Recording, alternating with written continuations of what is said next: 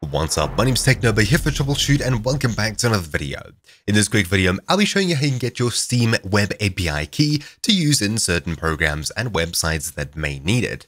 Note that you shouldn't be giving this key out to just about everyone, it's a terrible idea as it is linked to your account and you'll be punished for API abuse. That being said, as far as I understand, you need an account that is currently active, as in you've made a purchase within the past year, and it has at least one purchased game on it, not gifted or received, it's actually spent money. That's as far as I understand. So you can't just make a fresh account and get a key from it. But I may be wrong.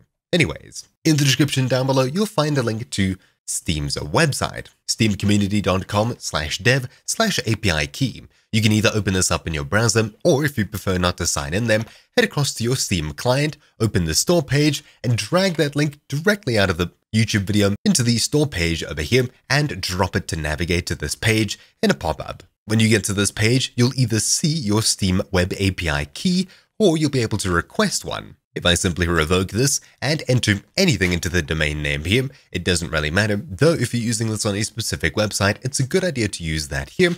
I'll just call it test. I'll agree to the Steam terms of use and register my API key. Now, there's a key on my screen. Simply copy this and use this wherever you need it. Of course, if you're ever worried about this being compromised, or you'd simply like to deactivate this Steam key, click Revoke My Steam Web API Key, OK, and suddenly the key is deactivated and no longer linked with you. That's really about it for this quick video.